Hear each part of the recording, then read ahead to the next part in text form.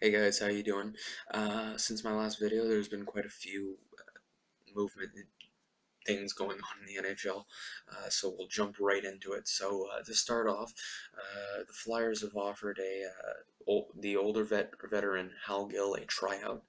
Uh, so that was on the seventh, I believe. So and we'll, we'll, find out soon enough how that went for him. I don't I don't think he's going to end up getting signed, to be honest. But I think that you know he is a good leader. He's not necessarily, you know, I think he'd be able to fill a, a third line, uh, third defensive pairing, excuse me, or uh, depth fairly well, but I don't think he's going to uh, get another chance. Also, St. Louis offered uh, Ryan Whitney, who played for the Edmonton Oilers, a uh, a uh, tryout. Uh, I'm not going to comment too much on that. I'm not too familiar with uh, Ryan Whitney, but uh, you know, if St. Louis thinks that uh, they need a bit of a veteran touch, maybe that's a good move for them. Uh, moving forward, a couple of re-signings here. so the Washington Capitals re-signed their 22-year-old Marcus Johansson to a two-year, $4 million extension. Uh, and, uh, you, know, he racked up uh, in the shortened season last year. He played 34 games. Uh, he put up six goals and 60 assists. You know, so for a 22-year-old who's, you know, new to the NHL and everything, I think that's a very good move for uh, for Washington. You know, it's not too crazy. You know, two million dollars a year is very feasible.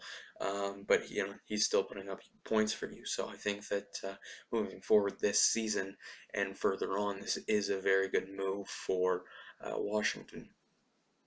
Uh, Phoenix also signed some young talent. They signed uh, their eighth overall pick from 2008 to a two-year extension. Mikhail, no, not Mikhail, Mikhail Boedker, excuse my pronunciation there. Uh, he's 23 years old. They signed him to a two-year, uh, 2.55 uh, million dollar deal. That's 2.55 each season. Uh, and uh, he racked up 26 points in total last year.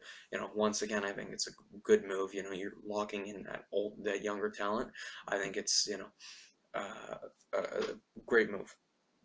I'm going to uh, move on to uh, the Kiprusoff retirement now.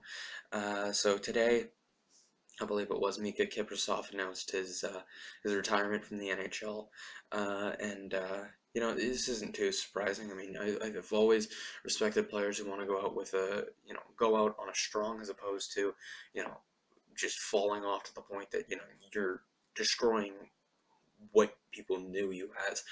Uh, and I think that he, he's perfectly aware that if he stays with Calgary, they're not going to do anything. You know, now they're completely a rebuild team, and I mean that that's very evident by how they traded away Jarome Iginla. And I don't think that I, I don't think you could blame him for not wanting to be part of a rebuild. Uh, you know, he's at the point now where if he is going to play, I think he wants to compete for the cup, and I don't think that's feasible for the next 10, 15 years in Calgary. So I think that uh, Miikka Kiprusoff retiring, I don't think it's very surprising. And, uh, you know, I think that, uh, you know, best of luck to him in, uh, in his later years.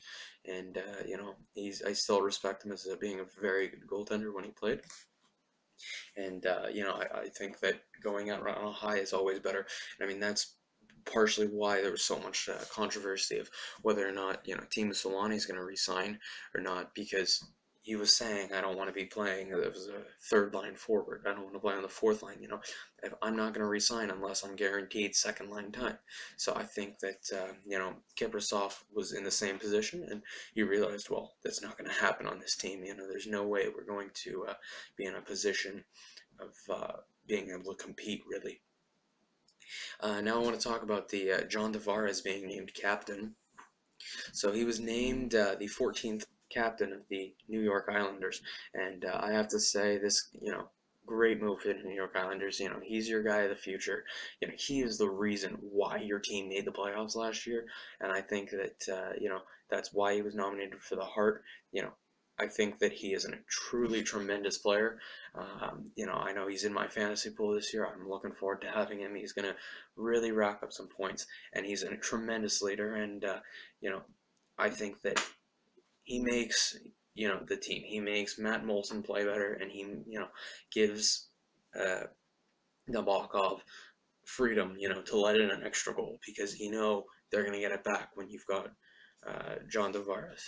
So uh, that wraps up this episode. So if you liked it, you go ahead and uh, click the like button, or if you really want, uh, subscribe and stay tuned.